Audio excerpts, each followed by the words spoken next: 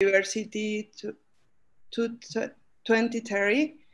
So we are welcome today to Cesar, Santiago Molina, and Andres Cuevas to our panel, as me also is going to be uh, discussed in this uh, forum.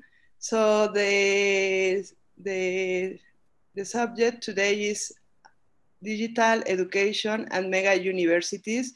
So we have uh, a lot of experiences right now in the National University, and also Cesar is going to, to uh, share with us the experience in Qatar in the, for, from the University of Qatar. So I must to welcome you, Cesar, to our university. And I'm really glad also to, uh, to remember that the Observatorium of Relation of US and Mexico is also collaborate with us. So I also want to thanks to Santiago and Andres for joining us to our discussion. So we have four presentations. Uh, each of us uh, are going to take 10 or 15 minutes to present our main ideas. And then we have two rounds of questions uh, to, for include the public principally. So everyone who wants to ask something in the in the forum, please write a question on our chat. And uh, also, if you want to um, to to ask something in the YouTube, you you can ask there. So I want to first uh, say that uh, Cesar is our first speaker. So thank you, Cesar, and I'm I'm more more than glad to see you again here in this forum. Likewise. Thank you, Paula. Thank you for the invitation. And uh, I hope that I'll be able to share with you our experience for this uh, for these hard times. Uh, we'll uh, start with a brief presentation about the uh, the university and uh, you know so that you get to know um, where we are. we have quite a, a varied audience, so just a quick presentation about the university itself and then uh, of course discuss our strategy, what we have done uh, uh, during these times, and and then answer your questions if you have any any questions. So let me first share my um, presentation.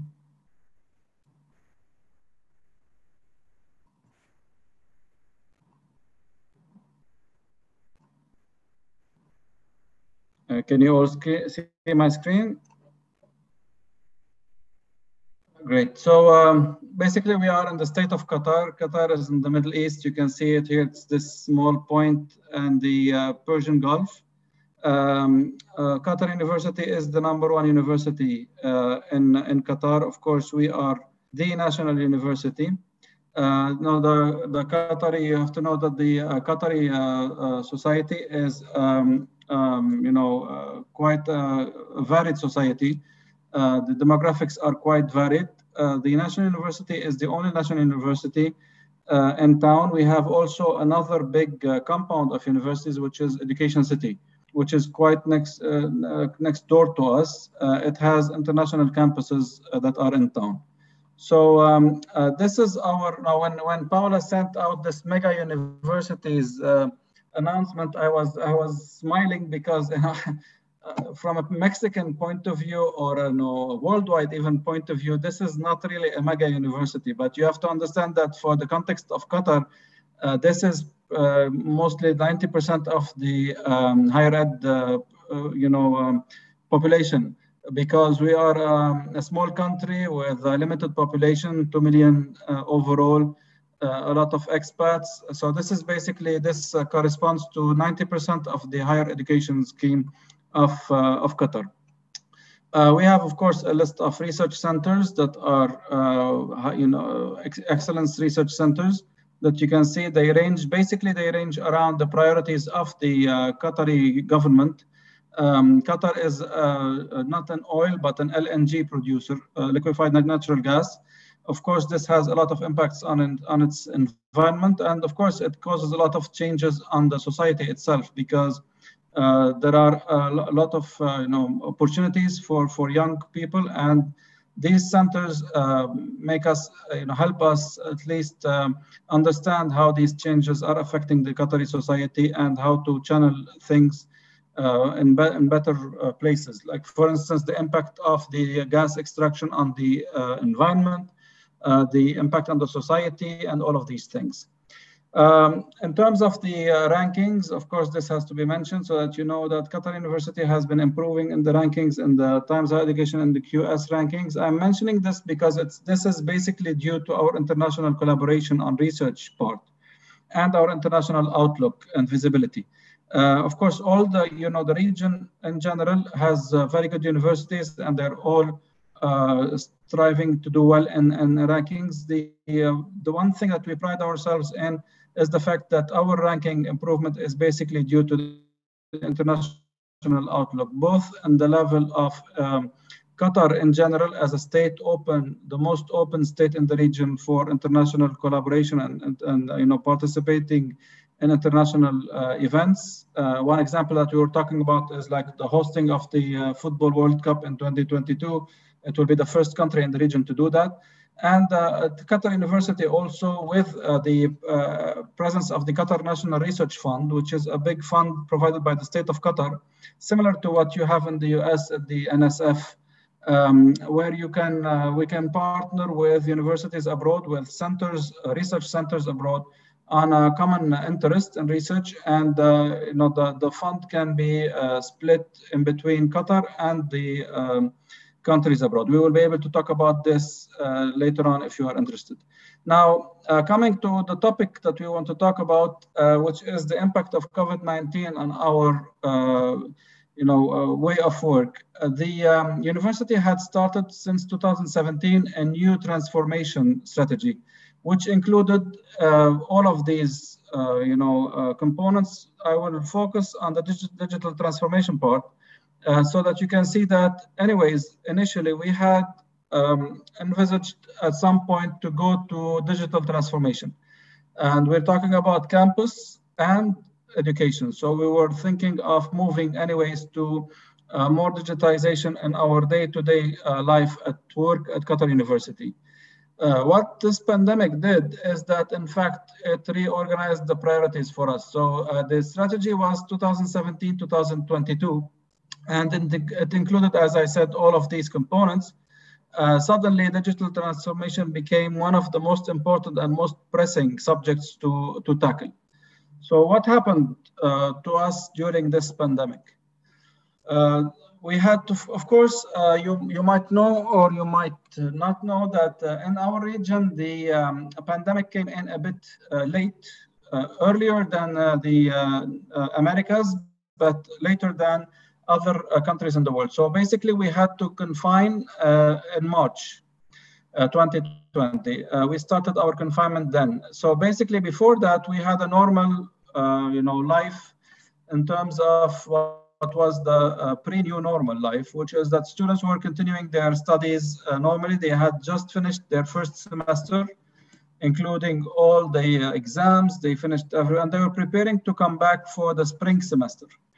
Uh, the uh, pandemic, as you know, started uh, increasing worldwide, and the Qatari government had uh, uh, started to be proactive in the sense that it didn't want to have a widespread.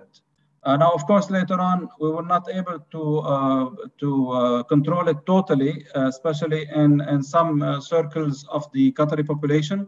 But we uh, we did overall, we, we think that we did a good job in uh, not totally uh, having a total lockdown. That's I'm talking about the uh, no, the country overall.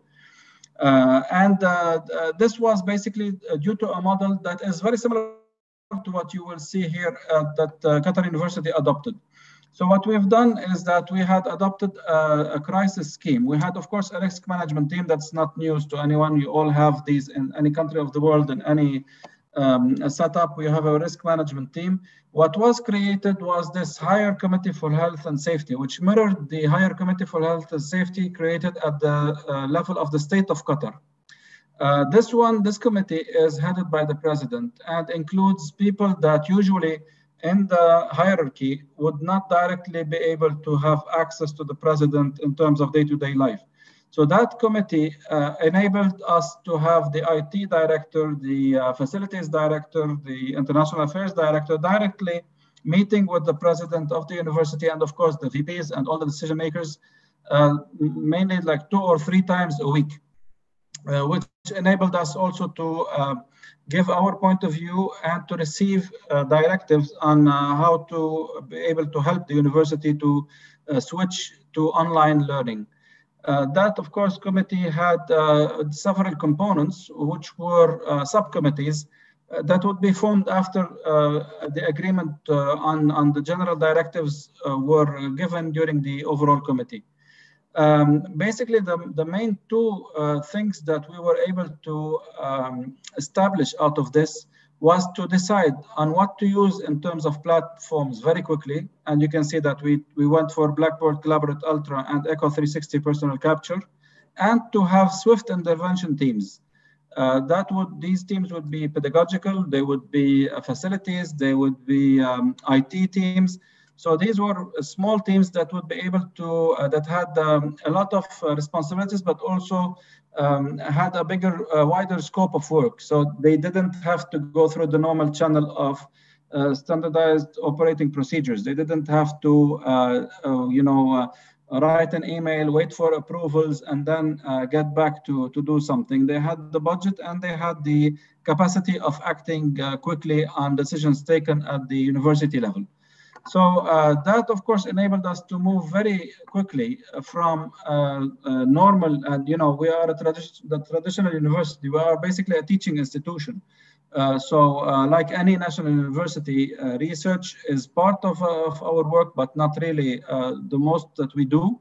And the teaching methods, of course, you know, are slowly evolving to become digit- digitized and and interdisciplinary, but they were moving at the normal pace any national university would have. Now, uh, what uh, this uh, committee did, uh, or you know, this uh, this uh, crisis team was able to do, is to speed up the process and within one week be able to deliver teaching online. Now, this is the good news. Of course, when you switch so quickly to um, a new setup and a new way of delivering, uh, you face some issues and I will try to like walk you through those very quickly and uh, answer the questions later on uh, so that we allow time for uh, uh, some discussion. So uh, the points of strength of the work that we are doing, again, we are realistic. You know, we know that we have, we are very lucky to be in a, in a setup like Qatar. It's a rich country. It's a country that invests its richness in uh, its capacities. It's not like uh, you know a rich country with uh, money in, in, in, banks or investments abroad. Uh, the money that uh, that is generated is used for anyways for the needs of the society. Like two percent of the budget is of the total budget of the government is for educational needs, and this is a very big budget, I can tell you. So we had all the necessary platforms for the in terms of technology. Uh, we have uh, high-speed internet. We have um, all the hardware, software, whatever you might think of was available in terms of uh, uh you know uh, needs at the country level. Of course, that was uh, again the case for Qatar University, who had a very strong ITC infrastructure that enabled it to move very fast on you know making a decision and delivering. Uh, we are we were also able, as I told you, you know, the pandemic started here in March 2020. Uh, we had also benefited from a, lo- a lot from our uh, international partnerships, and that was the role that was tasked to us as international office uh, during this pandemic, is to see how our partners reacted. Because you know, in the beginning, everybody was questioning or uh, you know asking questions about how can we do that. Uh, so we received a lot of help, especially from East Asia, uh, from the Far East, in fact, China. Our partner, Peking University, was the first one to respond to our needs. And Peking University has been involved uh, both in terms of uh, course delivery, but also in terms of inter intervention of its medical teams uh, on the ground, especially in Wuhan.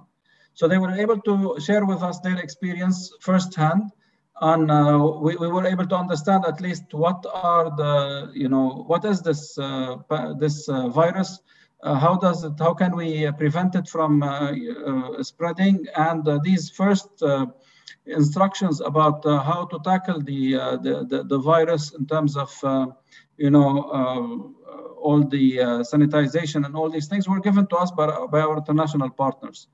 Uh, again, also similarly, Italians were very useful, University of Bologna, Milano, because they also had gone through a very traumatic experience, but different from the Chinese, but also very useful to us and they were able to help us through this. So basically, it's the you know the two main points until now are, as I told you, the uh, uh, point of strength was mainly the fact that you know we have the infrastructure. Some other universities, other parts of the world did not have that, and we had very reliable partners who were able to help us and to respond to us. Uh, of course, as I told you, the strategy itself had put in place um, uh, some key performance indicators for uh, the digitization. So we were not really surprised. We did not have to uh, deal with something we did not work. So some committees were already working on uh, KPIs related to digitization. Uh, we had also uh, some uh, key partners in town who knew uh, our needs and were starting to work with us. So again, we built on this. Um, the again, all, all, this enabled us to have a very quick first run uh, on uh, how are we doing, how are we faring on these key performance indicators in terms of um, our strategy, and to be able to adjust very quickly, reprioritize, of course, this became a priority. Uh, we reprioritized and we were also able to adjust um, a major number of key performance indi indicators. Now, the uh, key issues we have faced are basically, you know, different from uh, what other universities around us in the region, but also uh, in the world uh, knew. We, we came to know this uh, through our involvement, as Paula mentioned, with the International Association of Universities, that very quickly uh, ran a survey uh, worldwide to see how we responded and you know collected data regionally from institutions about uh, how uh, people responded, we were able to see that we were fortunate not to have the same uh, issues. Of course, we had very similar issues to other universities, but they were only limited to that. We, we did not have to worry about our students not having laptops, uh, not having access to internet at home, uh, having to access uh, the courses through their phones instead of having a, a natural setting. You know, th these were all available to our students. What we have faced, of course, is that our pedagogies and the, the, methods of teaching, what I mean by that is the methods of teaching, especially evaluation methods, were not adapted to this kind of changes. Uh, teachers would be able to teach, of course, uh, online uh, with some training, but uh, as far as coming to evaluation, we had faced a lot of issues, um, some of which are, of course, based on integrity. You know, are these students doing their own tests or not? But others are also dealing with, uh, you know, the logistics of the test. Uh, we had, uh, again, uh, this team that was working on the crisis management team was able to organize with the academic sector faculty and students um, training for both online uh, teaching and, uh, you know, uh, uh, and evaluation. so we were able to directly move to one week, as I said, to something, at least, you know, a minimum of possibilities of delivery of the content. Uh, we, are, we, are, also one of the key issues we faced also was that uh, we had different uh, knowledge of technology between faculty and students. Some were very advanced, some were less advanced. So that would tell you that some courses went uh, ahead very quickly and moved fast while others were struggling. Again, that was a, a, major source of disturbance according to the students when we did the survey to find out what were the things that they had faced, uh, you know, they, they were facing. Uh, now, um, uh, after that, we had to start facing the uh, new challenges of the new normal, for especially for courses that are that contain a lab component or that contain clinical uh, matters because suddenly our medical students were not able to go to uh, hospitals anymore because if you remember the first uh, part of the pandemic uh, they only wanted qualified personnel and really, you know, well-trained personnel to deal with the pandemic and with the uh, patients because they did not want to take any risks on the on the our medical students and on the patient themselves. Uh, so we had to face these things in terms of pedagogy. How do we replace labs and uh, experiential uh, learning with uh, online learning? And of course, the second thing is the changes around campus, the new architecture of the campus based on the um, social distancing, based on the uh, temperature check, sanitizing, that also affected a big part of the budget. Uh, of course, as I told you, we, we are fortunate to be in Qatar. We're, a, you know, it's a wealthy country that is investing a lot, but at the same time, it's also suffering from the worldwide uh, economic crisis. So we still have a lot with respect to others, but we have less than uh, you know, being able to say, okay, we can guess and check and try, and if we don't do well, we will have to, we will have the budget to correct our mistakes. No, now we have to be able to, uh, you know, rebudget and uh, have some good, you know, facilities management so that we don't fall into, um, um, uh, you know, a, budget crisis again. Finally, I, you know, the I would like to share with you what are like uh, final thoughts, like first final thoughts, of course, of this uh, these six months we have spent. Uh, there will be others. There will be also um, uh, we will have to revisit those, I'm sure. But until now, I can say that we have definitely our uh, you know teaching model will definitely be shifting to hybrid.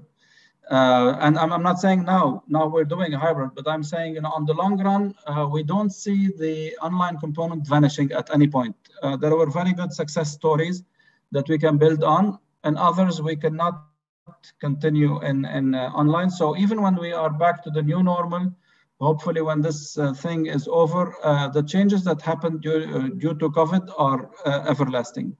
Of course, that will impact the student mobility and the faculty mobility.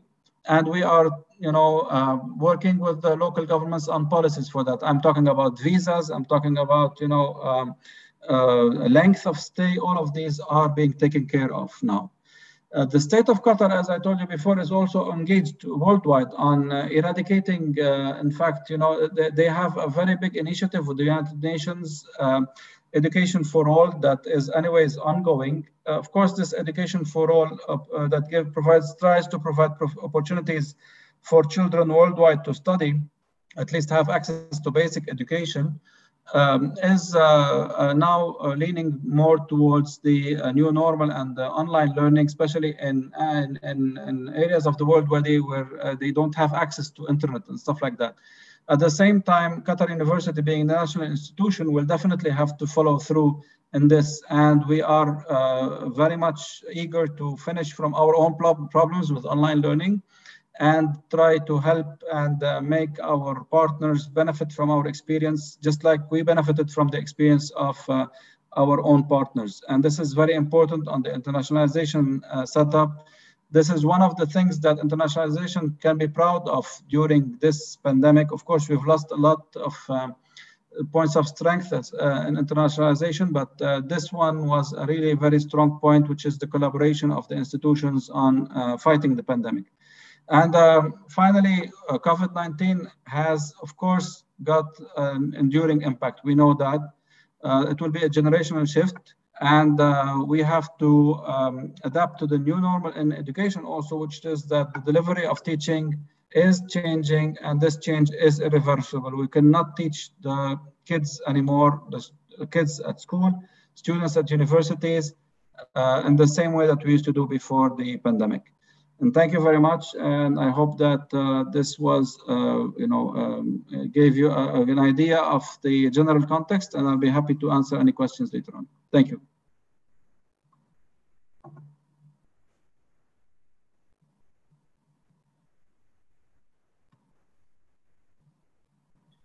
So, so thank you. Uh, right now, uh, Francisco is going to incorporate to our panel. Uh, Hello, everyone. Right, our panel. Hello. My apologies for the delay. We have we experienced some problem with internet due to heavy rainfall and thunderstorm. That's the problem of virtual seminars and virtual life. But thanks God now is everything okay. Well, again, uh, sorry for the delay. I was listening carefully to Cesar was saying and take some note, but perhaps we could debate afterwards once our our colleague uh, express or explain their point of view, and then afterwards we will start the, the debate, the discussion. So, with further ado, uh, either Andres or Santiago, as you prefer. Now, please take the podium.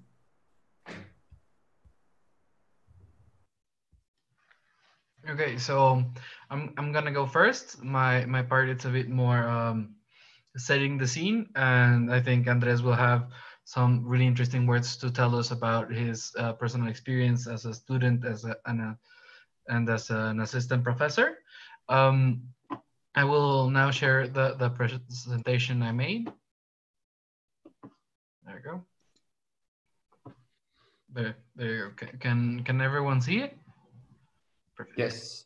Yeah. Go ahead, please. So, so here I'm going to talk about uh, digital transition in education, what, what the process is about, what is the digital transition, and several pointers uh, and, and information I think will be very useful, especially when we talk about the, the, the transition that COVID has, has forced upon us. Um, so first of all, there are a lot of organizations that have different um, intentions with regards to the digital transition in education. I, I would like to share a, a, very brief anecdote. When I was in, in junior high, I was sent by my school and by the Mexican government to uh, the Convention for International Society for Technology in Education. And there uh, we were supposed to, to present a government project in cartography. But what really interested me is that um, as I toured the convention, I saw that the, the technology in education meant more than creating new new ways to teach, just enhancing the the already existing learning techniques. So so I found that very interesting.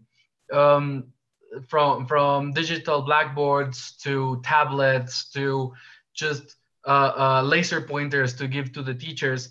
Uh, I, I thought that was very interesting the way that around 10 years ago we we saw the the digital or the technological transformation in education not as a way to change the way we teach or the way we learn but just a, a way to enhance it. And now as more and more technologies come up and as uh, the, the the worldwide landscape changes i think we're forced to accept other ways in which we can well really experience our learning our layer learning um yes the, the the way we learn and the way we teach.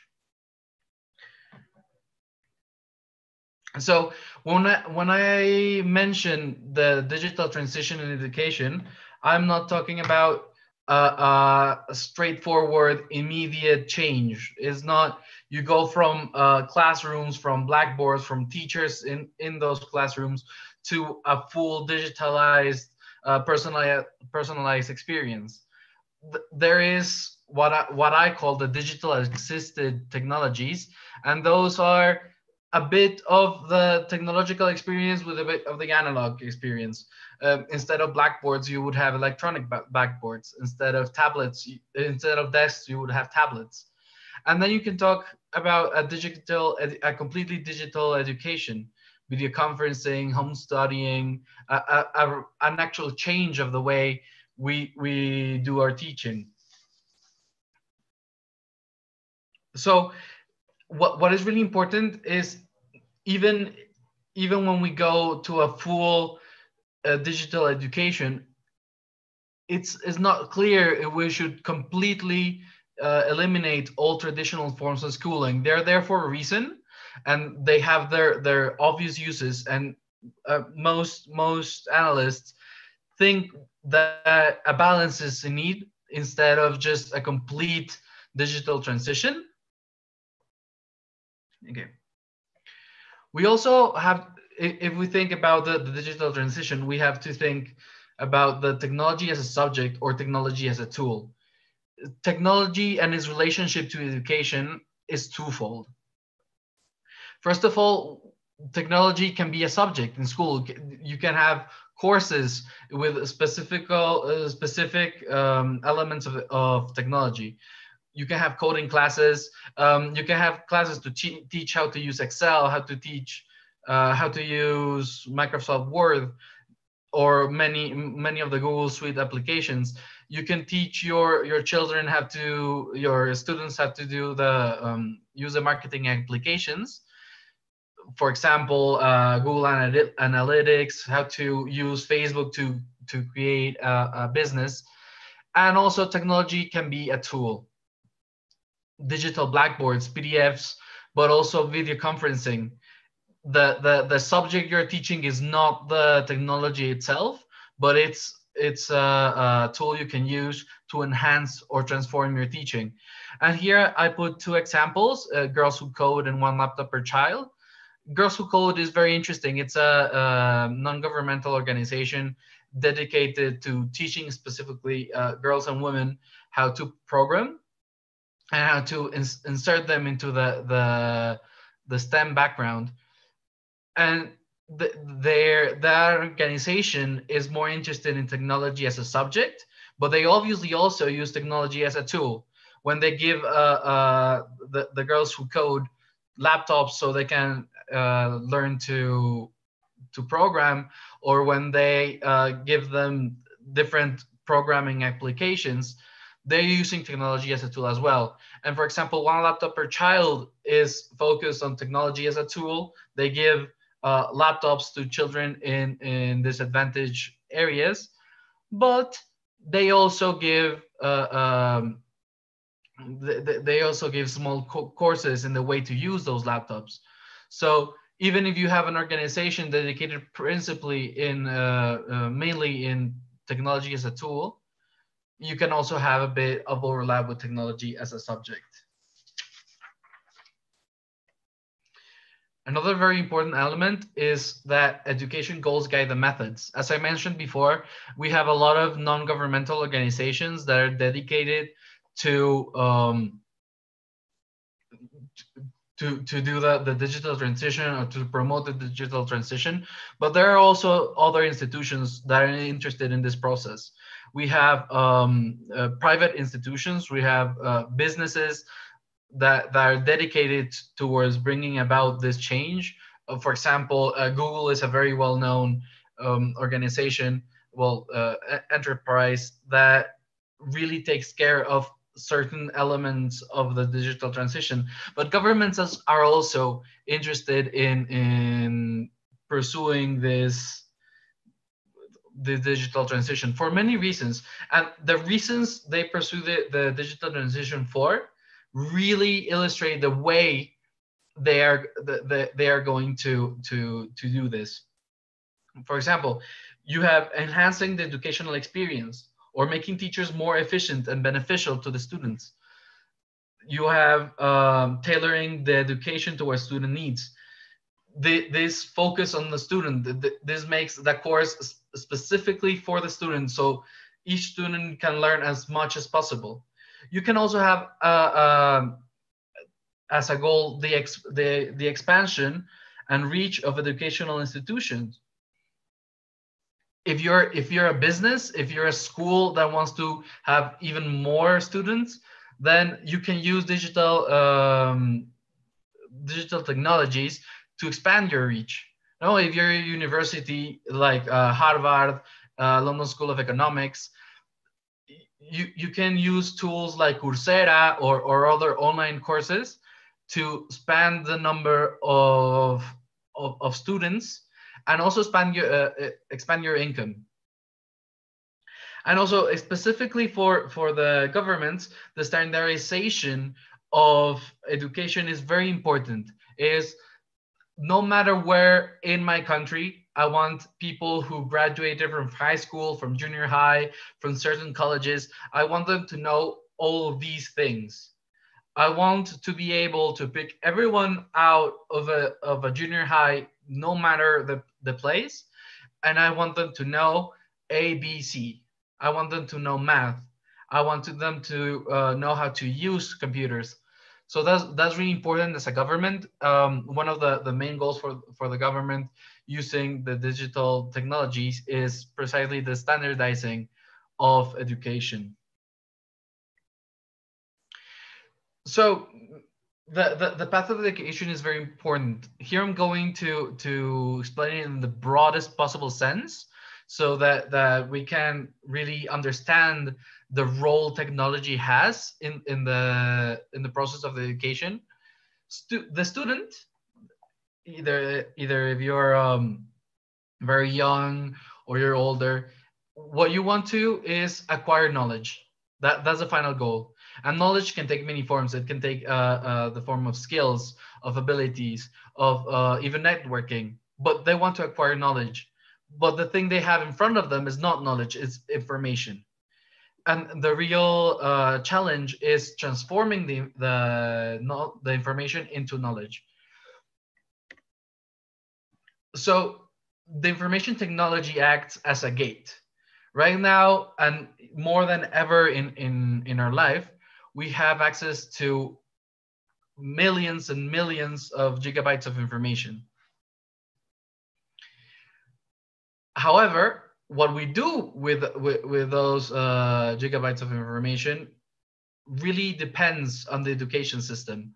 Are we being guided throughout this um, sea of information towards creating skills and acquiring actual knowledge? And that's really the, the question we have to, to make. Because we have seen seen in the in the recent years that there are very big changes in higher education. Uh, I, I am sharing to you the, these notes. They, they're very dramatic, obviously, but um, every every now and then, if you're if you're, you want to study in, in a college, in a university, you're you're confronted with these um, the, these uh, newsletters that say uh, the, the, degree is dead and half in, in US now consider college education very important. It's it's scary for the students. And why is that? What why we are, are we now uh, doubting the value of the degree? It's because um, for about 400 years since uh, the, the creation of schools like like uh, La Sorbonne in Paris, of, of Harvard, of Yale, we have had in place a four-year uh, college degree. And it has changed very little. The, the, the, the way we learn hasn't really been transformed. It has it, it, it, has been slightly modified in certain ways, obviously, and there are um, ways we have learned to to to teach uh, in slightly different ways. But it has really it hasn't really changed, and we're now asking of our professionals, of our students, way more than we were asking a hundred years ago. But each profession has become highly specialized with very specific uh, uh, knowledge requirements and knowledge demands that our higher education has now been uh, become obsolete to, to cover.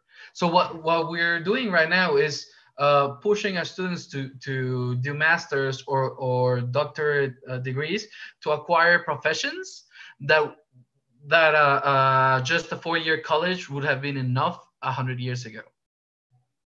And one of the reasons is that because the demand of knowledge has increased exponentially but the way we learn hasn't really increased. It's it, that, that that's where the deficiency um, resides.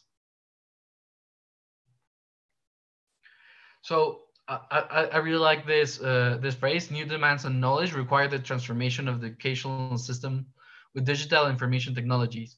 But as a tool, another final objective. The problem with many of the policies is that it ends with the student acquiring a laptop. And that's not enough. It ends with the student uh, acquiring uh, Google Meet, acquiring Zoom to, to have the, the education on a video conference. But that's not enough. You need to really think about transforming the way we teach. We need to use the, the, the digital transition tools to really uh, change the way we learn and and use the things that are already there. We have now a world with millions of educational videos that may be tailored to, to very specific ways of learning, and we need to use them. In that case, we, we end up talking about the difference between additive technologies and transformative technologies. Additive technologies just enhance, but then multiply the, the, the amount of knowledge you learn. Digital blackboards, uh, uh, video conferencing, those are additives. They, they really do help. But what we need is a transformative uh, approach towards education. Access new types of teaching, different course formats, uh, really tailoring education towards the student. And but you, you cannot ignore the role of the teacher. You're not going to leave the, the, the student to navigate on it on his own, his or her own, the, the, the world of information. They need a guide, and the teacher has to transform being the only gate to knowledge to a guide through knowledge. And finally, and I think we will talk about this more uh, um, with, with Andres, there are external forces that impact the transition. There are things that will slow this transition or that will uh, make it faster. Natural dis disasters that destroy uh, uh, Wi-Fi connections, that destroy uh, and, uh, electricity um, connections. Well, it, it, it really hampers the process of digital, tra digital transformation. But for example, uh, the pandemic right now, that in other cases will ha wreaks havoc on the economy, it, it right now forces us to consider another uh, another way of teaching. So that that that would be all for me right now.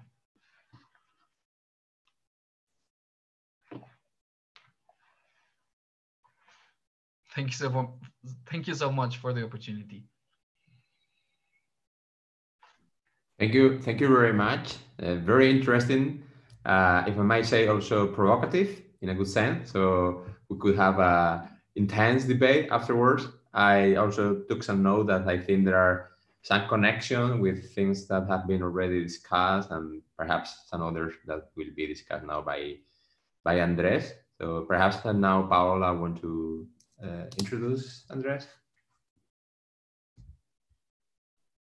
So uh, Andres is also a collaborate, uh, a member of the Observatory of Relation between U.S. and Mexico, um, directed by Mariana, who is right. She's right now uh, in the forum.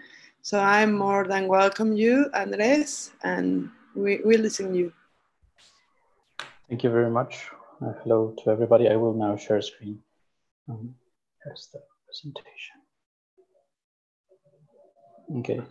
Um, first of all, um, I would like to, to thank the organizing institutions of this webinar towards the Global University 2030 and the Center of, Center of Research of, on North America of the National Autonomous University of Mexico, the University of Salamanca, the University of Extremadura, and Qatar University for extending me the invitation to participate in this webinar. Um, in this presentation, I will present the actual panorama of the National Autonomous University of Mexico, university in which I study, and the challenges it faces. The, these challenges have been catalyzed by the actual global emergency that COVID-19 pandemic has represented, and they have shown rapidly in the way we understand education. Um, despite the, the, short period in which the pandemic has presented itself respect to the considerations it mean to the um, um, yeah, the, the considerations. Um, so just one moment. Yeah.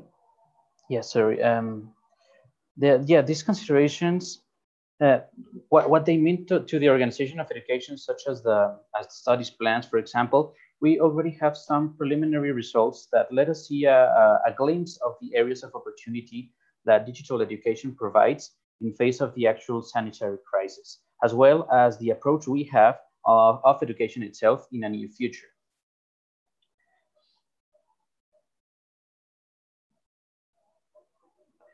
Um, to get us in context, I would like to present a couple of facts about the Faculty of Political and Social Sciences at the National Autonomous University of Mexico. Um, the Political Science Faculty is one of the many centralized and decentralized faculties and study centers of the university. According to um, the last published official results, uh, official data, sorry, um, of the of the of the university, uh, the faculty has approximately 6,885 students, all coming from the bachelor's degrees from anthropology, communication sciences, political science and public administration, um, international relations, and sociology. These uh, numbers only considering the bachelor's uh, programs uh, and letting aside the students of postgraduate degree programs.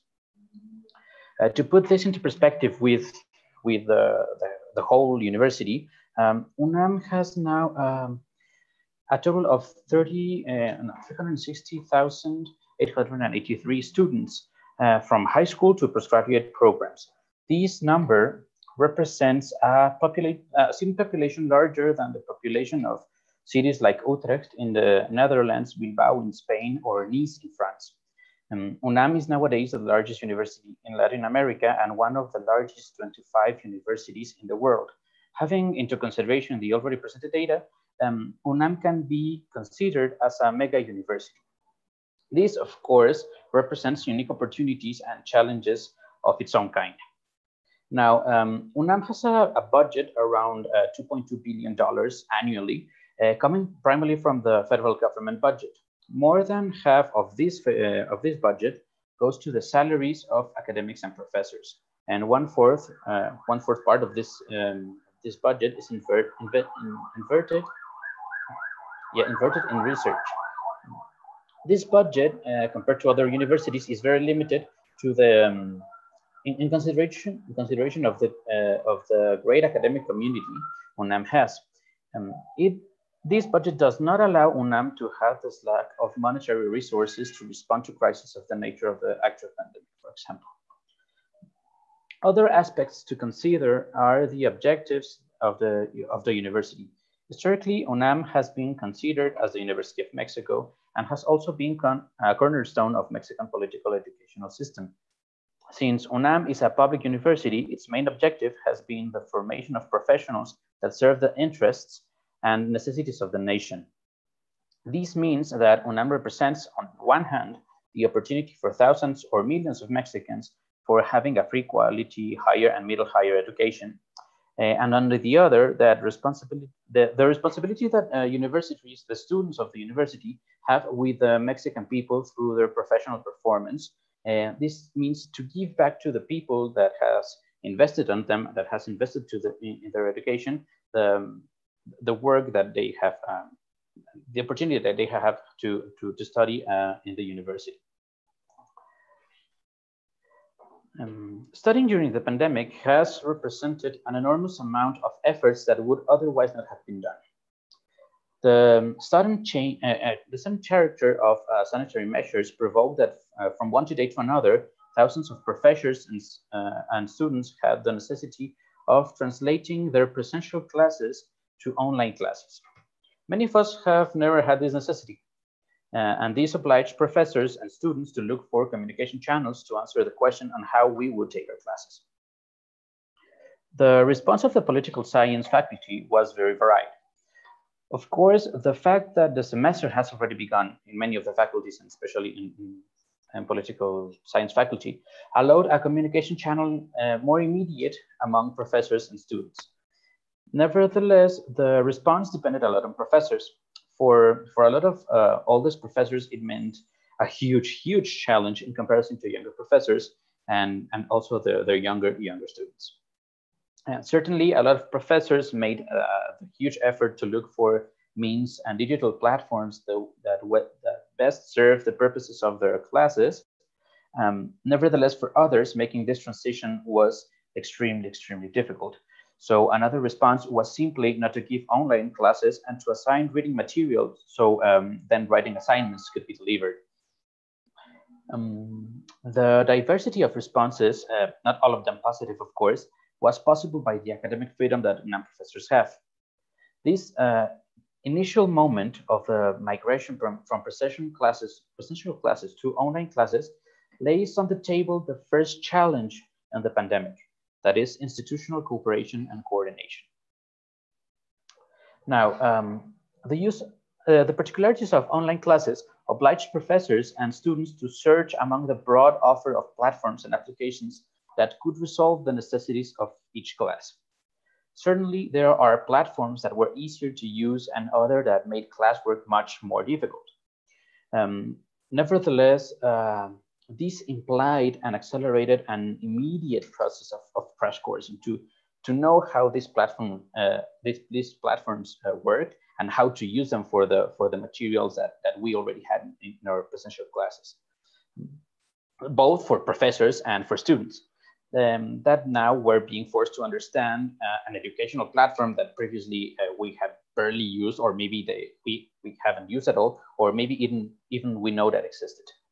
This uh, transition also showed the importance of, of databases of academic content, the content, sorry, the, the impossibility of accessing the bibliographic collections of the university made professors and students on the, um, to, to search for the material that we, that we needed for our classes.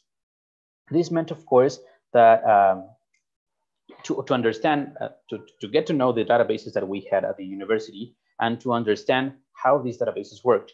Uh, for most of the classes, we also had the problem that uh, these that these databases don't uh, didn't have the material that we that we looked for.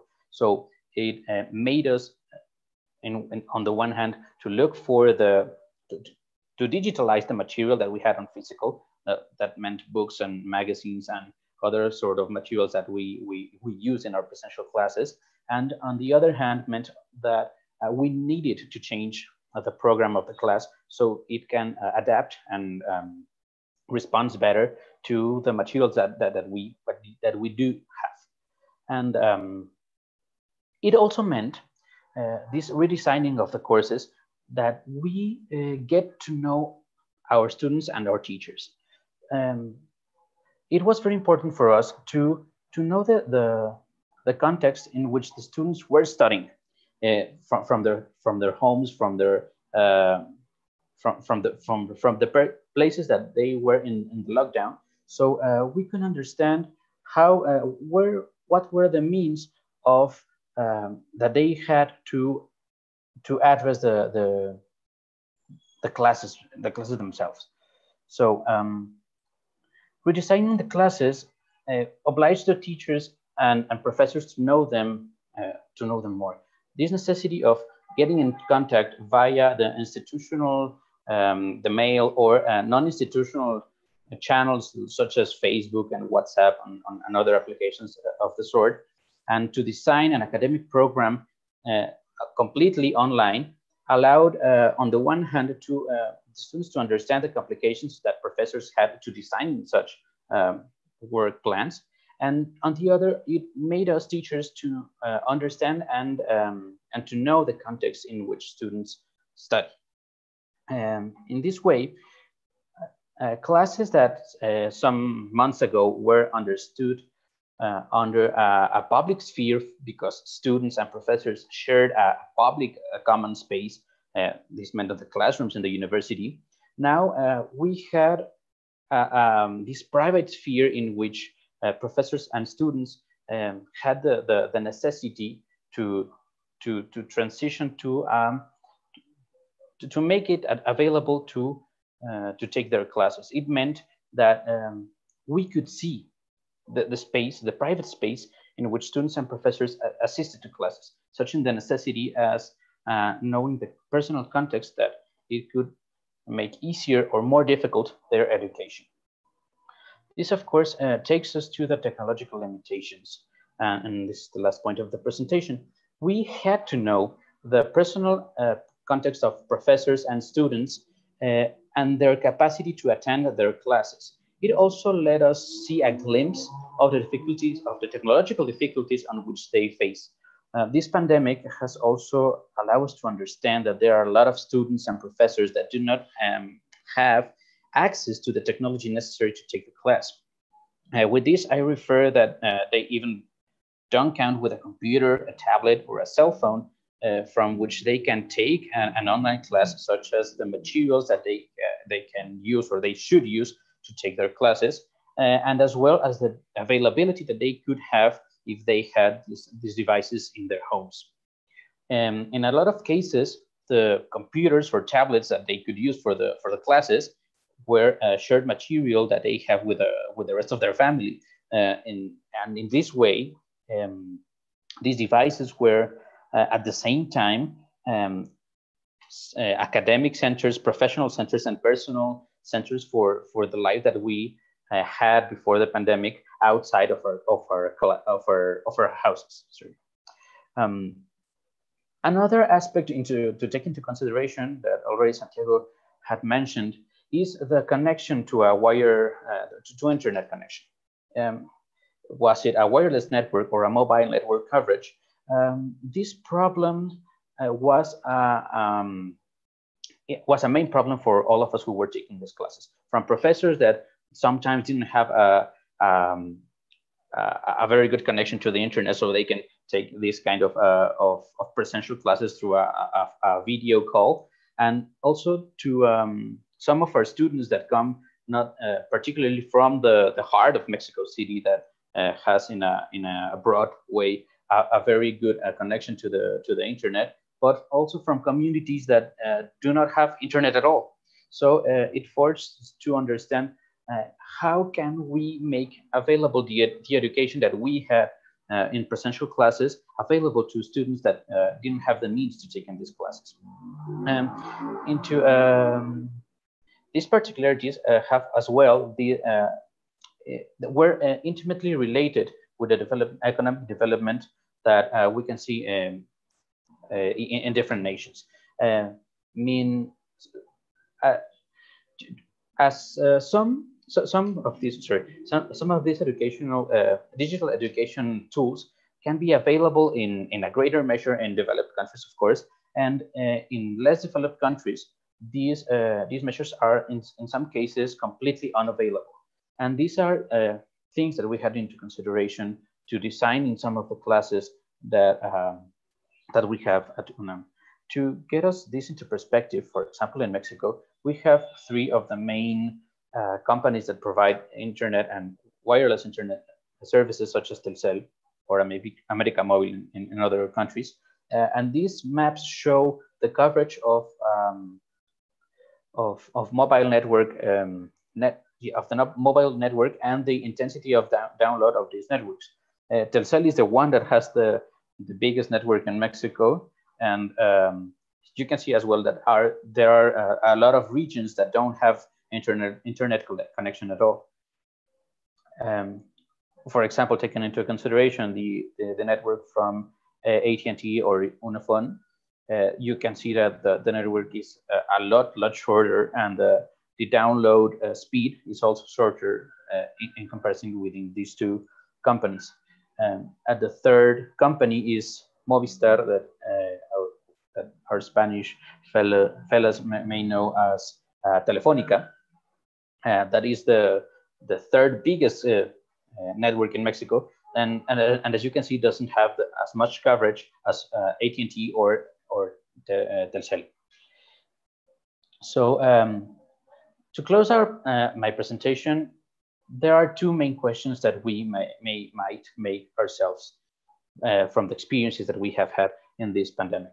The first of all is which changes will we embrace? What uh, what things have we made different and may uh, be useful to to the to the creating uh, of education from from the years to come and um, is this the the beginning of a new paradigm in education uh, from our experience uh, it, it, has made us think differently uh, on how we programmed our courses to uh, to think which um, means are available to the students what kind of material they can have and also to think um, we should have better material to access for uh, not only the, the people on our university, but to the people in general, to have access to digital resources that we uh, difficultly have uh, is, is a, a very uh, important objective that we could pursue as such as a, a, an academic uh, institution and to have to cooperate, cooperation between different academic institutions and of course with different governments.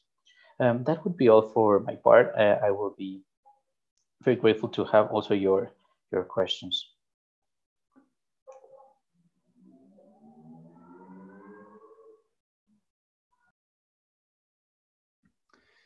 Thank you very much, uh, Andres. Uh, also very interesting uh, explanation, very interesting talk.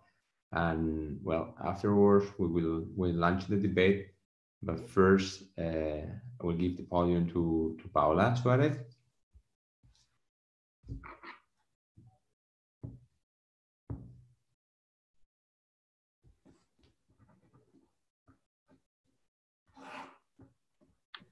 So thank you, everyone. Uh, I will continue some of the talks of uh, Santiago and Andres about our reality here in Mexico, about the, the global education and the main goals right now in the COVID-19 pandemic. So I will share with you, with you my presentation. So just let me move a little bit because I can see it on my screen. So yeah, as, as we discussed before, uh, since 1999, the mega universities are defined by new models in the world to organize the knowledge economy the universities are presented as centers of development and also as a social and educa edu educational organizations that changed a lot during the last decade of the 20th century. So in this time, at after COVID-19, we are concentrating on how create better environments and better public policies to sustaining our growth of productivity and to ensure the expanding of our higher education institutes and systems. As we know, the creative capitalism endorsed new technologies and media to support the development of the knowledge economy based on the quality, equity, and also the self-governance or autonomy of the universities. These elements as a response of a global economy. The third globalization observed for some of theorists as a dilemma in which policymakers who fully uh, believe in market economics are rethinking how we can optimize it and getting out of the market to get self-confidence of our institutions and also to the higher education systems all, all the world. As a dialectic systems, as you know, the mega universities express a new deal with the digital education. Some of the aspects that my last uh, that my colleagues mentioned in the last participations, you can observe as a new capacity to model flexibility, for example, in the curricula, teaching methods, and a new sense of academic community that probably or we are thinking is disappearing or is in in in a in, in crisis also as a, a higher education institutions.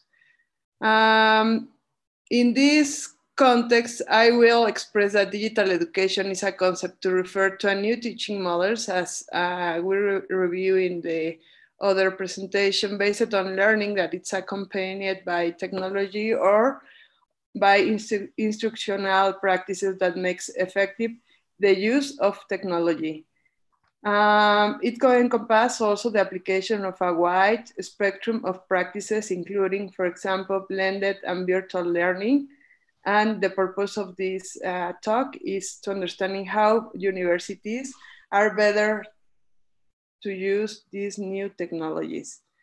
So I started, I just discussed three points, the third globalization as a context, the second is the mega universities, and the third is the digital education. So I will be, um, I will start as a big uh, a view of the third globalization is uh, in, in the context of the higher education, we can see a new market with the creation of new systems of universities uh, that supplanted the historic and traditional mega universities as National University of Mexico, of course, and other universities that were, and also could be the, the University of Salamanca, that are, they have uh, traditional models that are coming from the uh, colonial and also from uh, other context, historical context. Some of these models that have impacted higher education science since the 1990s are the following. We have new models right now. Uh, extended traditional universities as National University of Mexico, the, the profit adult-centered universities, distance education technology based universities, corporate universities, university industry strategic alliances, and degree certification competency-based university. This new kind of universities made a different competition in our arena and in the competition for new and better spaces for higher education. Mega universities as UNAM and now massive open universities as uh, other models like Tecnológico, de Monterrey in Mexico have created unique systems to compete with their peers with the provision of full times for to, to teach, for design their programs and curriculum. While another platforms such as Coursera and Google Academic that contain a myriad of courses and research data.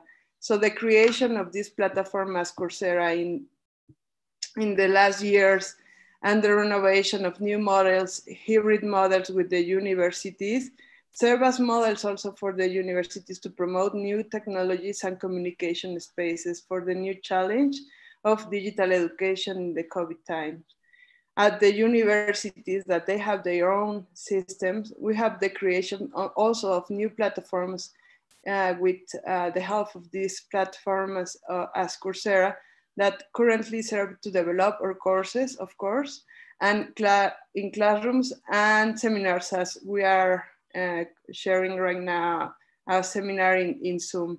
There have been many changes from everyday life for the development for, of universities and mega universities, such as groups of universities that have a global projection, that have a high number of students, and also we offer as mega universities a large number of programs. We're designed since the middle of the last century and transformed at the end of the 20th century to reach the consumption of a great project of digital education.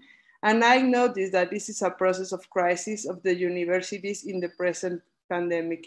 If in the 1990s it was an idea and also an utopia, right now we have the model and we have this model as a crisis. The third globalization also criticizes as a model in, in, in crisis has led different organizations such as universities to re themselves in a world disconnected between the economic and the social, where the logic of the market seems to snatch the first uh, fruits of the needs and absorb the greatest capital to account for a vital global economy. Universities in this way seeks to, un to understanding of this market logic with the introduction of new technologies that allow us to continue communicate low, uh, knowledge. So I'm going to start to discuss more about these mega universities.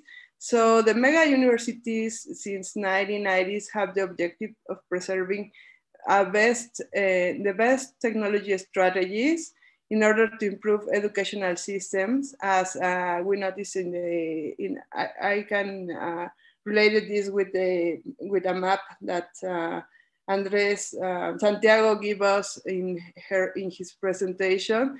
That is not the same the the the relation of the is the spaces of communication or information and the necessity or the need to construct the educational system.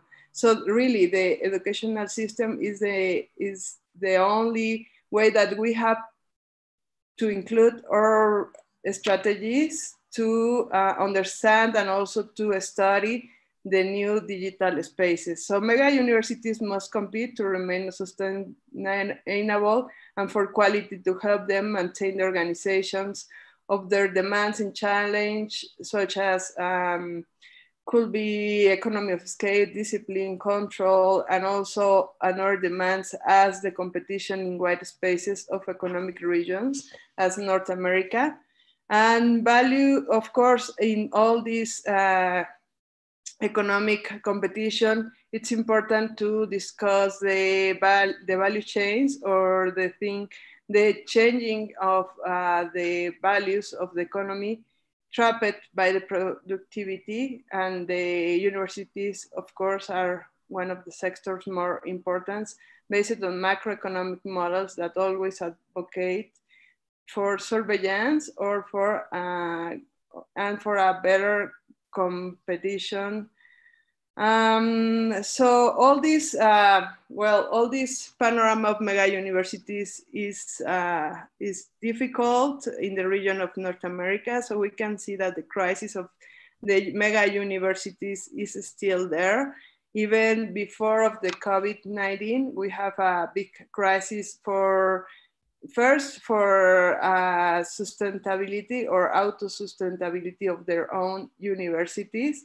So they don't have enough money to support their projects here in the area of, of, of here in the region of North, North America. Uh, Cesar uh, tell us about the experience of Qatar and they have uh, more uh, budget for the universities, but in our region, they and, and more more in Mexico, we we don't have a lot of, of budget to support the public uh, the public education.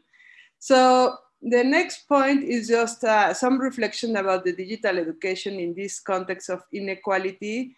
So I, we have that the digital education began with a revolution of the of uh, a digital revolution as a revolution, uh, we know that the revolution implies change without return as histor- in a perspective, uh, historical view. So we can turn again with, uh, to the 90s or we can turn again to the 20s.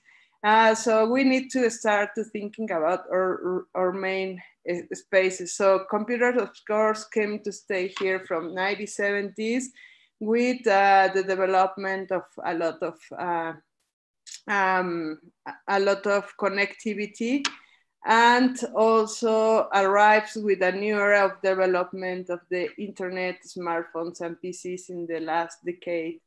However, in this point of view, we need to think uh, about uh, th that this, if this period of change will help us to observe not just an advance or a or like uh, evolution, also if we can observe the adaptation of new spaces of education in, in, in our realities, and also how these uh, technologies are visible in an uh, infra, in, uh, infrastructure that we have in the universities for the development. So the digital is observed here as a phenomenon that uh, could be divided the social and economical spheres.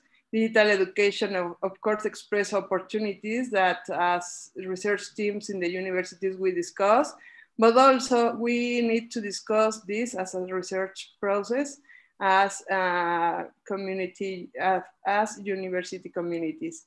So the question also could be asked uh, about how, how these crises are resolved in our context right now. And if we have uh, enough experience or an ability to expand these spaces for coexistence and regulate also the reality of the digital education. Uh, if we have also the self capacity to understand uh, the mass communication in this re renovated arena of the COVID. And finally, in the UNAM, we have uh, uh, new models and research, educa uh, educational research that allows to coordinate new efforts for training processes. Um, one of the main projects is uh, one of uh, is a new center that it's operate uh, since I think since August this year as a response of the the pandemic uh, the, uh, this new center is, the name is the Coordination of Open University Educational Innovation and Distance Education that represent for the UNAM and National University the un effort to strengthen our educational development, curricular innovation, educational evolution, and open education. So my experience in this, uh, in this, uh, in this field is uh, important to, uh, to discuss and uh, remain some elements that we need as a teacher and also we need uh, to share with the students. So one of the main ideas of this forum is to share experience also with the students. So for that, this forum is uh, related not just between academics, also with all the students to discuss new elements. So of course, we don't have time right now to, to discuss all these elements, but some ideas that we are continuing in our forum. So um, really we have the choice of appropriate these technologies, technolo to, if we have really the choice of appropriate these technologies for education or is an imposition. So we have access to technology, but of course we, we have the inequality of this. How, what kind of costs are uh, in this, in, in this uh, process and the infrastructure if is is functional for our university and also for our country. So we can see on the map that Andres shared with us that we have different infrastructure and also uh, there are these disparities between the geography in Mexico. So we have more concentration in the center and in the south and the north in the north borders, we don't have enough infrastructure. So we have also another ways to acknowledge and learning processes in new educational environments. So my three last points are about if uh, we have enough points of interactivity or are not enough regulated, if there implied new organizational matters, it's important the speed and the novelty and innovation to adjust in this digital education. So my conclusions is that, or my final thoughts are the, if we have the dissemination of the knowledge of this uh, research in about our organ or universities, not as organizations, more than uh, places that we can take these decisions and we can develop new actions to support and improve our educations based not just on the regulation of the market, but also about and uh, about also related with the necessities of our own societies. So the creation of these universities communities as this forum support critical capacities for our decision making that we can continue as this uh, in this forum that uh, I'm blessed to coordinate with Francisco. So thank you so much for your attention and uh, so we can continue to our panel.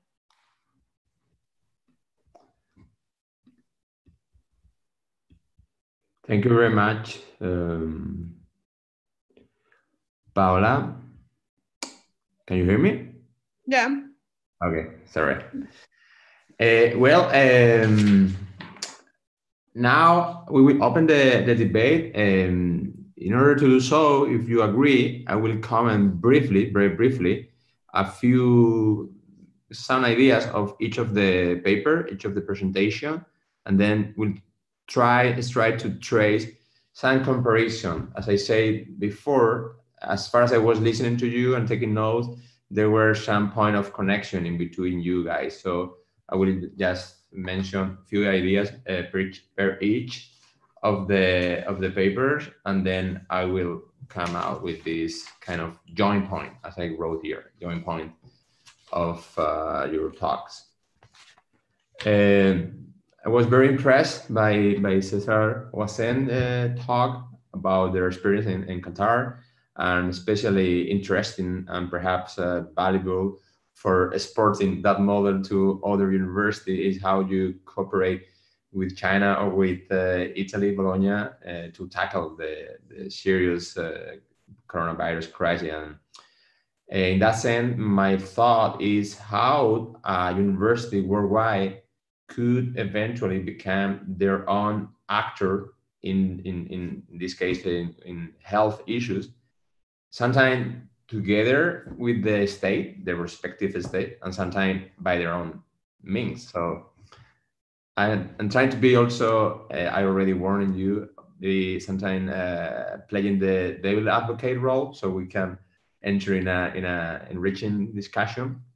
So in this sense, uh, I don't know how much room there is in, in Qatar, uh, in, in, the, in your case, in Qatar University case, uh, room to to work uh, with other university without the uh, if not the permission but the direction of the government. In other words how free are any given university to interact with other university in this globalized world uh, and then as for the presentation by by santiago i was also very interested uh, especially, I think there is here a clear connection um, when you talk about a non-state actor uh, educator or non-state actor university, such as Khan Academy, perhaps one of the uh, the perfect model, no?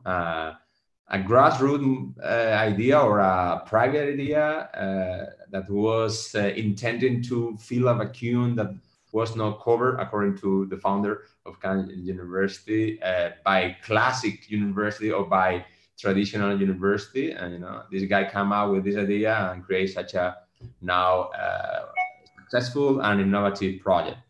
So my question for you, also playing this uh, devil advocate role, is uh, to what extent those private initiatives, those initiatives that come from the bottom of the society to fill out different vacuum could or should interact with public institution in order to to tackle uh, and to uh, face and to solve problems jointly, no? especially in such a, a dramatic situation such as the, the, the COVID.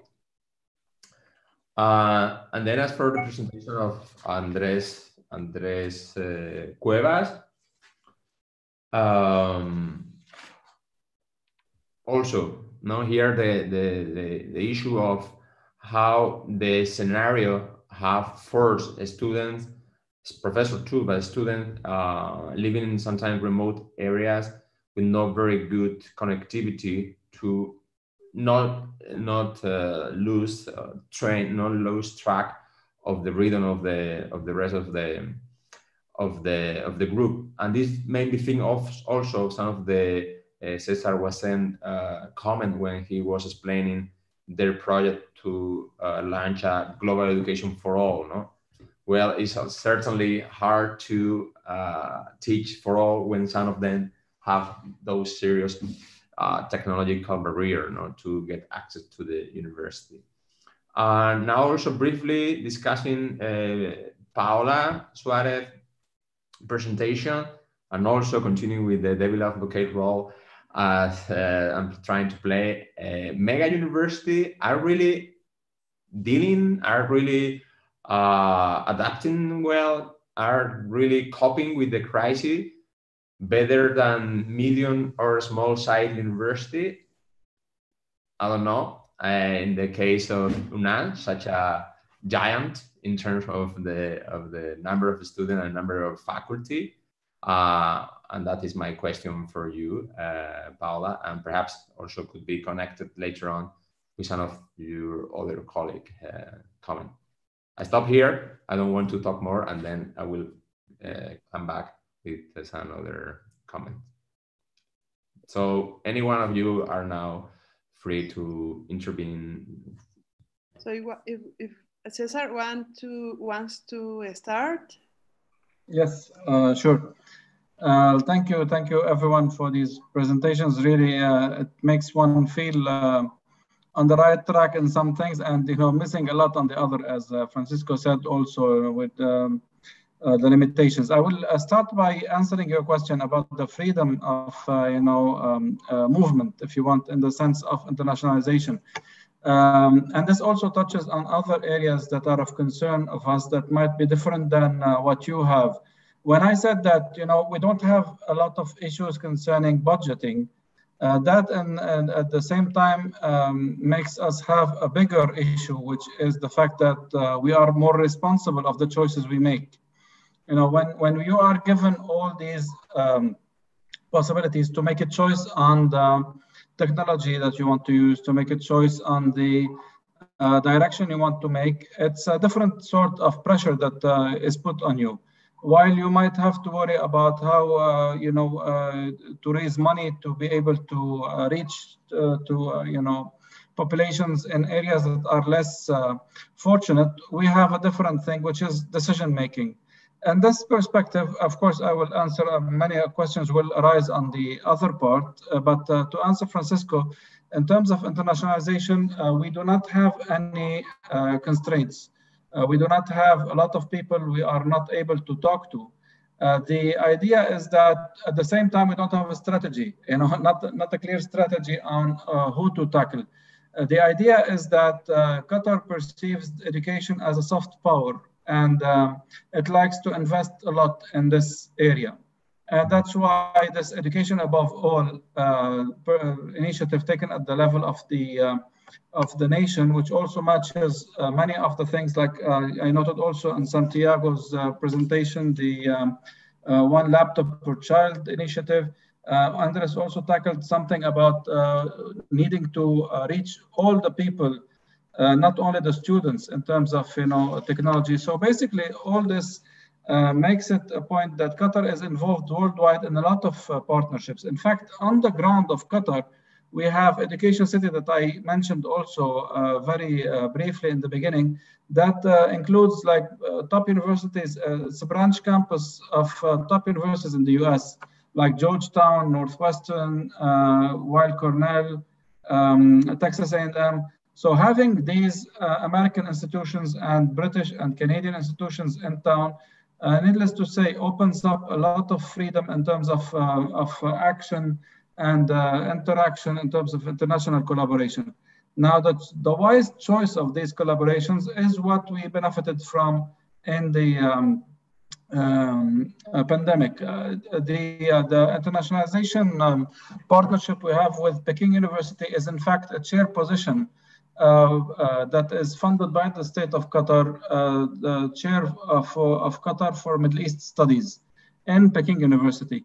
And uh, that return on investment, if you want, was that this chairperson, uh, who is, uh, you know, Chinese and operating in China, offered to help and walked us through the the process at Peking University, and made us benefit from this at the beginning of the pandemic.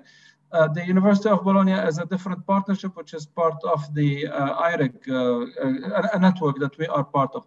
So basically, uh, not to monopolize a lot of the time, uh, we have a lot of freedom, but you know, with this freedom comes a lot of responsibility so that uh, the, the money we use in these international collaborations and choice of international collaborations are really have a return on investment when, it, when needed. Okay, thank you very much. Cesar. So anyone not could follow the conversation? Yes, Santiago. Uh, thank you very much. I would like to touch on uh, some things, as I said, that I thought was really, really important. Um, sometimes, especially when we talk about uh, uh, transformation and we talk about new technologies, um, we tend to think that budget is our only limitation. And I, I really like what Cesar mentioned that um, sometimes when you have a very big budget or, or, or very little uh, budget restraints, uh, that um, that in itself it's a really big uh, responsibility and a very big hurdle, and and I think that's that, that really ties with, with with your question, Francisco. Um, the the li limitations are sometimes uh, on the means on on on the budget, obviously. Um, what do I have to fund or what resources do I count on to, to do certain projects? But sometimes the limitations, especially in, in, in non, non-state actors, uh, reside on the, on the objectives. What is the real reason you're pursuing a digital transition? Um, because sometimes is the digital tra transition is completely focused on the students and, and on uh, amplifying learning but sometimes it, the, the digital transition is just a means to get uh, more money, uh, to expand your business, or or to have a, a, deeper control on what the schools in your in your country teach. Mm. And in, in, in that vein, I, I, I really like you mentioned again uh, Khan Academy, mm-hmm. because uh, when when I was studying in junior high, I really had uh, uh trouble with with math, and Khan Academy had just started. And I remember very, very distinctly that when in Mexico, the swine flu epidemic uh, um, went to a head, we also had to institute a quarantine. We also had to uh, uh, go to our houses and stop going to school. I remember that my, my parents uh, didn't let me stop stu studying. And instead of going to school, I would have to use Khan Academy. And I, and I think that was really interesting that you mentioned because this is not this is not the first time we had a, a, a quarantine, a pandemic that that stopped uh, uh, schools. Maybe uh, on a worldwide level, it's it's rather new, but there has been epidemics in, in local in local levels that that has uh, implications that ha- that stopped schools, and we can learn from the, those experiences. And sometimes in, in times of crisis, it, the the non-state actors are the ones we can rely on instead of the state actors mm-hmm. and that's I, I, think something we can learn um, not only from the pandemic we can learn from other crises as well mm-hmm. yeah very interesting santiago uh, could you please uh, expand a bit more if you know i don't know um, as for the Khan Academy case I, I knew about it i read a bit but not much so i'm not aware of if they have uh, recently because of the crisis, if they have some temporary agreement with public sector to offer their knowledge and their network and their capabilities. I have no idea, just out of the curiosity.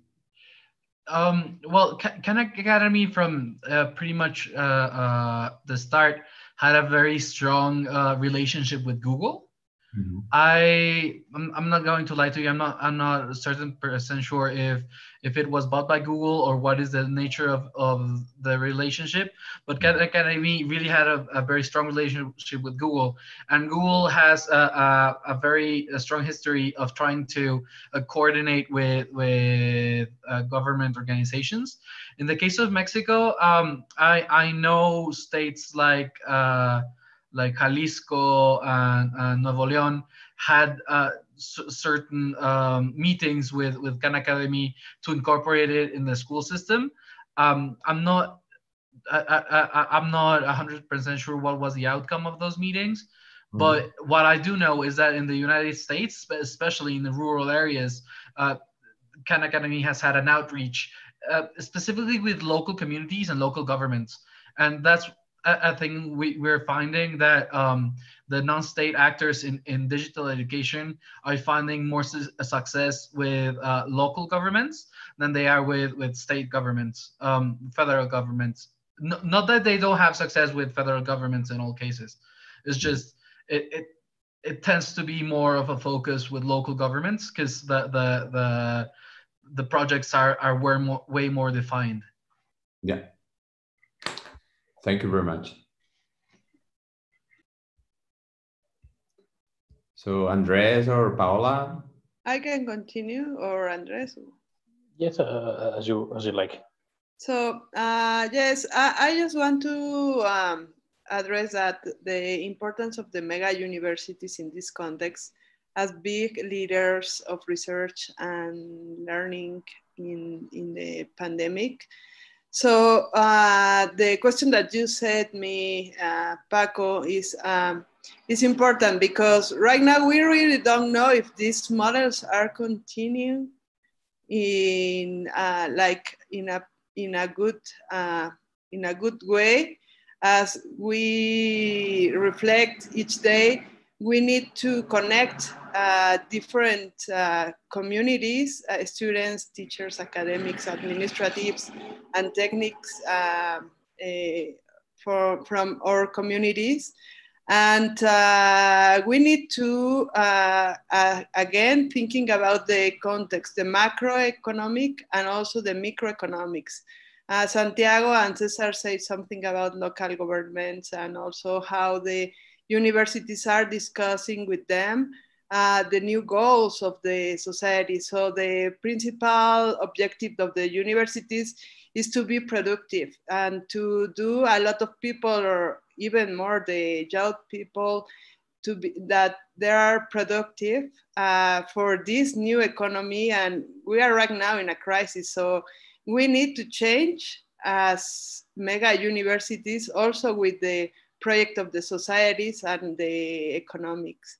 So there are uh, another question here in the forum that it's important that uh, how right now we can relate it with social values for, for promote uh, university education. Uh, the, the idea of the university is something that we need to regenerate it in the society. So it's not easy that the people believes in the university.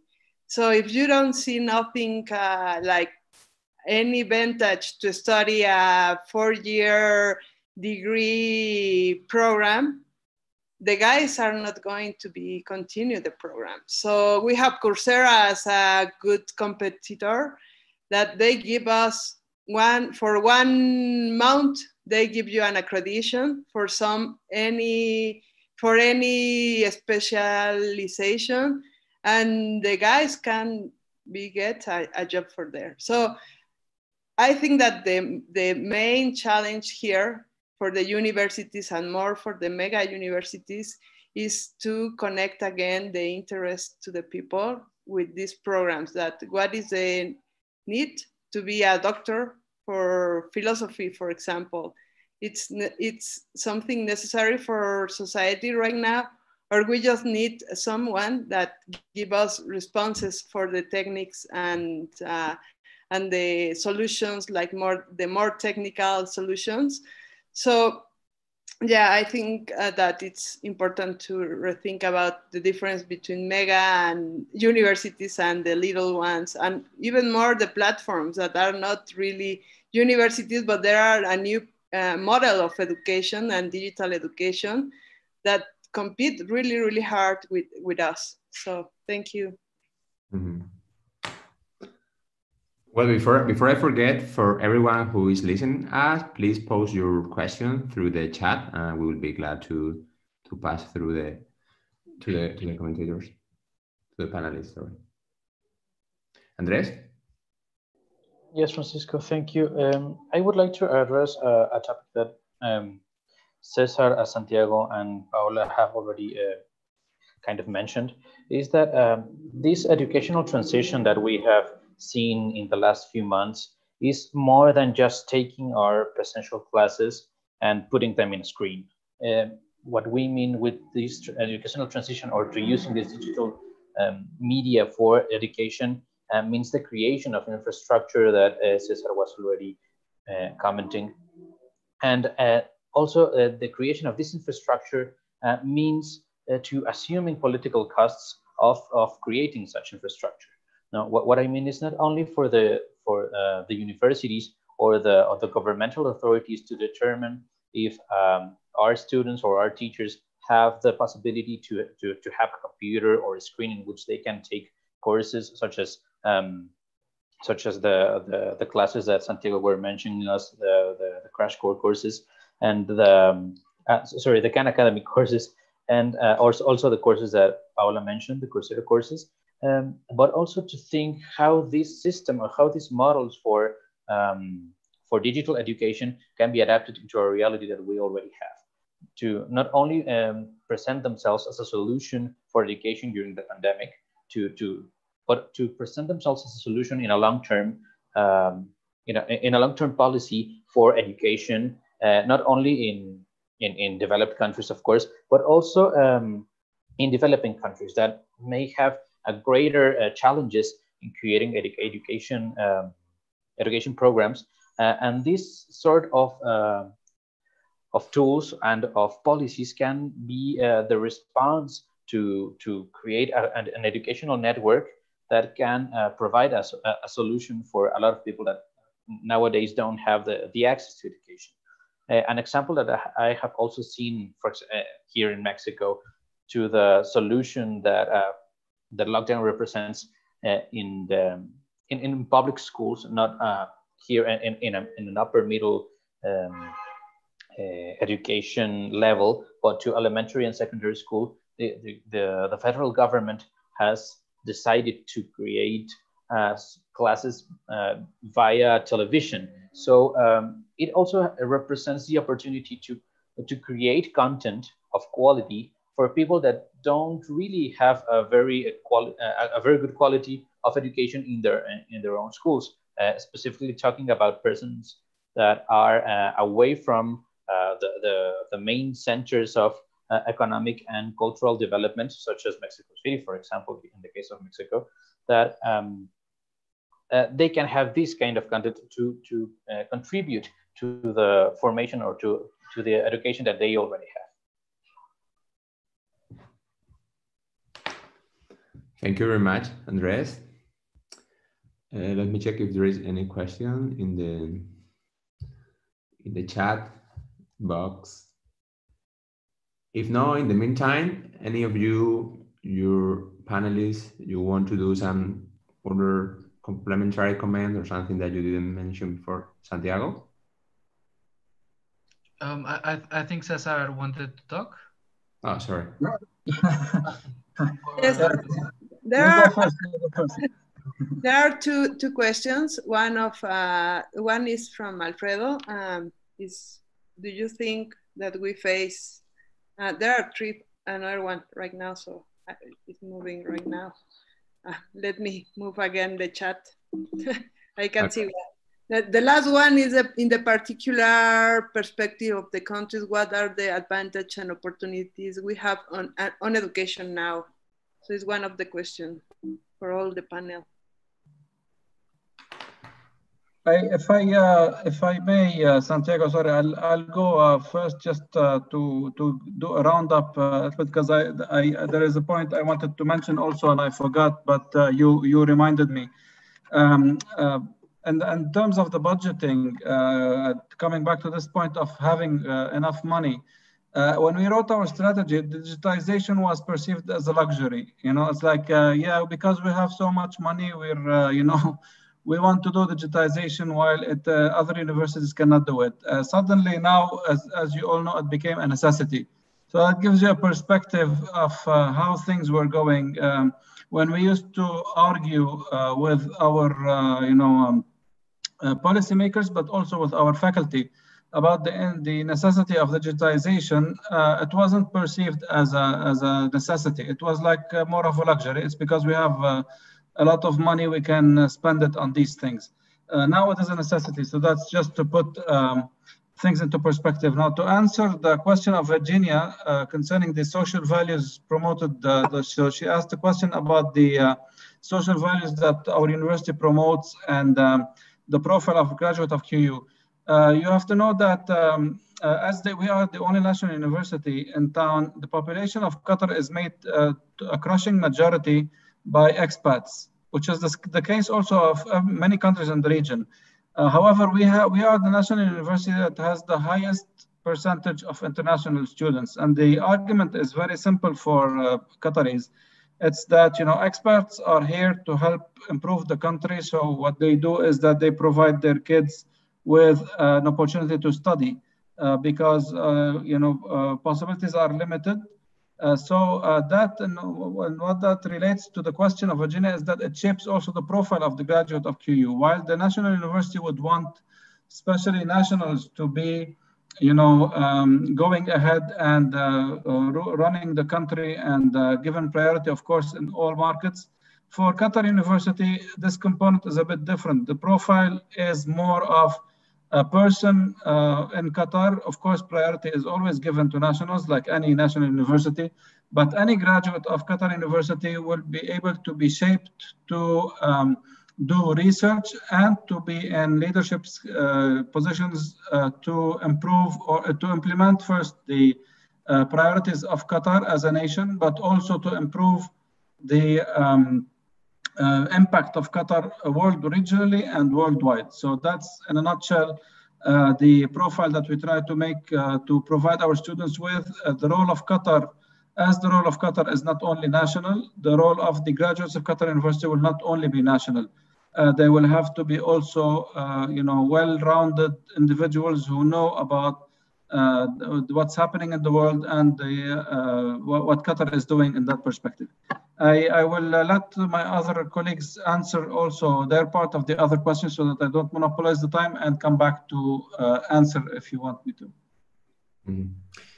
Yeah, very very quick comment on on, on your uh, um, comment now, Cesar. And just out of curiosity, again, uh, which which are the nationality uh, from international student? Uh, the majority are studying in in Qatar University now. And then the the second question is, as you mentioned, that uh, Qatar understand uh, investment in education as a soft power and I study soft power in, in the American case. So I'm curious to know also um, how the the current situation in in American campuses and in American university um, very directly with the problem of visa that some student, international student face to enter to get enrolled in American university. Is there any side effect of that, uh, uh, those Trump restriction for international student getting visa for American campus uh, affecting you in the numbers or, or not? Or? Yeah, uh, you know, for the for the um, uh, first part uh, concerning, uh, if you remind me, what what was the question on the first part, Francisco? The first the first question is, um, which is the the major the the yes, uh, yeah obviously the majority is from the region like uh, middle eastern uh, egyptians uh, uh north africans mm -hmm. regional even know you know qatar has been subject to a blockade from um, uh, four countries in the region. They are blockading the, their airspace even on and and the majority of students of international students in our campus come from these countries in, in fact. Um, so uh, basically, uh, we have a majority of international students coming from uh, you know Arab countries, but also a lot of um, uh, Indians, uh, Pakistanis, uh, le less Europeans, and very few Latin Americans. I think it's like maybe one or two students who are from Latin America. So that's also an area that we would like to to improve. We talked about that last year in, in Mexico. Um, uh, and we would like also to have more Spanish speaking students for the sake of variety. Now, um, concerning the um, impact of Trump, we hoped, just like our Canadian friends and our all of the, you know, everybody hoped that the Trump effect would uh, would uh, make their numbers, you know, uh, rise like hell. And uh, but still, uh, people still like to go to the states and are, are ready to go through the hurdle of getting acceptance in, a, in an American uh, university, which is already a very big headache uh, due to all the, the, the, constraints and standardized tests. And on top now, after getting an acceptance, you know, getting a visa. Mm. People still prefer to do that. we are hoping that you know people come to us for a different reason. Uh, than uh, than uh, a Trump effect. But we're still a young country, uh, very young, in fact, with respect to others. Uh, and we hope that with time, people will start to value uh, education in the region in general and Qatar in particular. Thank you very much. I, I would like to answer sure. some questions. Go ahead. So, so I, I th there was one thing that that um, Paula mentioned uh, very briefly, and I think really, really important is um, students also have an impact on the community. Uh, they actually work. In, in Mexico, uh, several studies said that around 50% of students uh, in colleges work uh, while they're studying. Uh, Georgetown University poll um, said that around, around that um, 50 to 70% of students enrolled in colleges are also working. Um, so when we have mega universities, that attract uh, many people from from the rural areas or from other countries uh, even they, they, they, take a, a, a, population that works and, and that has a rather important level of, of, of education, of, of capacitation. Um, so that, that's really important. That's, that's one of the things. And, and Cesar mentioned uh, really, really interestingly that even with with the problems of visa and even with the problems that that Trump represents for for migration, uh, people are still willing to leave their countries and go to to study to the the, the universities. And I, I wanted uh, to know if, if it was the same same in in Qatar. that um, there there is a, a, a rural uh, migration towards the cities, especially of students that are studying and working and taking away uh, the, the jobs they are they, they could be doing in rural communities they're doing now in, in, in universities and um, so i think that's really important and the, the the the digital the technological gap is it's huge. When when you don't have the capacity of uh, uh of studying in, in in online because you don't have wi-fi that that's that is that happens more in in in developing countries than it does in in developed countries then yes you do have a, a very strong digital gap that limits your your capacity for a digital transition yeah oh. Anyone want to comment on this latest i think cesar uh, i think that it's a good question from uh, that santiago asked to Cesar about what happened with these rural areas and non uh, per, and peripheric places in Qatar and also well in the Middle East. What happened with the countries not uh, that are not the core? Qatar, of course, is a core, but what happened with the other ones? What happened with uh, these rural areas? They are integrated. There are uh, difference, big difference. As in Mexico, we have really big difference. Uh, uh, just a little bit of the question of uh, Liz. We have in Mexico a lot of inequalities. So we, as the, in the in the Atuna, for example, we discussed what all these guys that are coming from all the states from our republic they're coming, uh, they're sharing their knowledge in the digital education right now. So there are people from Oaxaca, there are indigenous people, there are people from the periphery of the city. So we have different contexts that are interesting in this uh, in this moment. So mm-hmm. could we Cesar, share us yeah. with us some experiences? I can give you two perspectives, uh, one that is Qatar and one that is uh, Lebanon, my home, my home country. In Qatar, we don't have really a rural uh, population. Uh, the, the problems are more on the conservative and the openness uh, rather than rural and not rural. It's pretty much of a city state. Doha is the biggest city in town. It's a very well developed, you know, um, modern city. Uh, most of the population uh, lives in the city. So it's um, and the shift that has been made in Qatar from um, uh, from um, uh, you know the conservative kind of uh, uh tribal mode of life to city life has been exceptional. It's in the in the space of 20 years, you've had people moving from you know a life that is a, a very basic life to a modern city life. So we don't really have a big issue on that sense. It's about more conservatism than uh, than um, access. So do we want to open uh, the you know all this world to uh, to our kids, or do we want to keep our values and and have uh, you know more restriction on that? This is the issue in Qatar, not really an issue of uh, um, access in terms of being able to access or not having the infrastructure. In Lebanon, however, I don't know if you if you know the, the shape. In fact, the Middle East is a bit you know fragmented, pretty much like Mexico. You have a very rich area, and you have more you know real life areas uh, that represent countries like Lebanon, where you have very um, advanced cities and uh, pretty much rural areas, as you were saying. Uh, uh, you know, farmers um, uh, that are really in, in remote areas, although the country is small, it's it's made up of mountains you know a lot of mountains. So these people also might have uh, no access to internet because of the uh, the, the, the, the way uh, the country is. So yeah and, and this part of the world we have the same issues as you. This part of the region we have the same issues as you. It's about accessibility. It's about uh, being able to, you know, some some some have big families.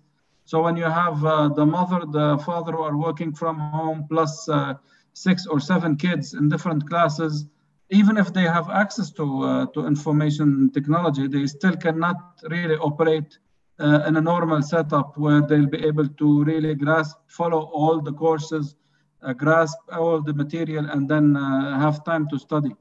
So yeah. Uh, that pretty much in a nutshell uh, what, what is the situation here. Thank you very much, Cesar, again, for very clarifying comments. Anyone else? Any question? Uh, so I guess we are about to finish this uh, illuminating and Andres, I don't know if you want to add something because you are the only one. um, well, uh, uh, it's pretty much to to to share with, um, with, with people that are listening to us that in Mexico we, we've also had this kind of experiences that Cesar talks about, uh, more uh, related with the Lebanon experience that um, we've been forced to to to take into uh, our homes to our our personal spaces uh, how we take the classes. For example, here my brother, uh, like some feet away from me, is uh, taking uh, architecture classes. Uh, in the next room, my father is uh, having. He, he's also a teacher at another university, so he's also having classes. all of us in, in the same spaces, and I think this is the reality in, in a lot of, of Mexican homes and in of homes in, in, in around the world that we have have had the, the experience to tackle this uh, difficulties that the pandemic has brought to us. Um, of course, not uh, not a lot of people has uh, the the opportunity to have like a personal space only dedicated for uh, their studies, for uh, having these kind of online classes, and to have a workspace only for their own. And uh, as I was talking in my in, in in the presentation that I I did. Um, most of the people has had the, the the necessity to share their their media and their um, and the resources they had uh, between them, the same family, even with other families, to to have access to this kind of of um, well, the, of, of, this education and to uh, work centers. Uh, so uh, yeah, I, I, think this experience from Mexico uh, it can be think of as a, a very diverse countries such as economic diversity, social diversity, and of course educational diversity. Uh, can also be taken into account to um, to create different opportunities for uh, other kind of um, of countries that have similar experiences from Mexico uh, to to work together to know what we can take, what these opportunities, this pandemic has presented itself as, a, as an opportunity to develop different a different model of education and to think how uh, we can take the, the, the good things that the pandemic has brought us and, um, uh, and, and inserted them in the educational model that we already have.